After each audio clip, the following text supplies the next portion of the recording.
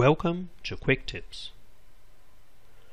When working with CCS 6.2 and its online resource explorer, sometimes it may be desirable to go fully offline, especially when you're working with uh, slow internet connections or you don't have a connection at all.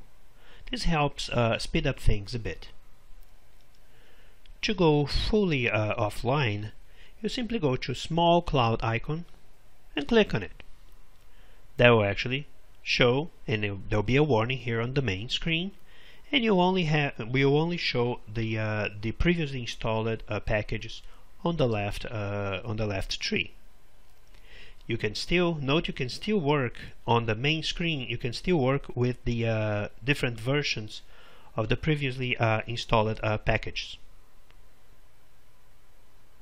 Another important detail is that even if you close Resource Explorer and reopens it, or even if you close Code Composer Studio and reopen it, he actually remembers the last uh, status of offline status. So you won't have, uh, you're guaranteed to not have any uh, delays on on the on the Resource Explorer trying to connect to uh, the cloud.